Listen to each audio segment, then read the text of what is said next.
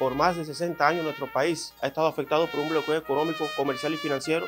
donde nuestro sector de la salud eh, ha sido uno de los más perjudicados. Nuestro país tiene que eh, recurrir a latitudes lejanas, a países amigos en, en, gran, es decir, en otras partes del mundo para poder adquirir un grupo de materias primas, de esos medicamentos, de esos insumos y que es una muestra de que el bloqueo existe, que está latente, que está, que está palpable, que nos está afectando directamente a, la cotidianidad del, cubano, a la vida diaria, a la economía y desde el punto de vista social, por supuesto, tiene sus grandes consecuencias, pero vamos a sobreponernos, vamos a salir adelante y con la ayuda de todos en conjunto, con la unidad que hemos estado demostrando en respaldo a nuestra revolución, estamos convencidos de que vamos a superar este cerco económico. Yo digo, no más bloqueo.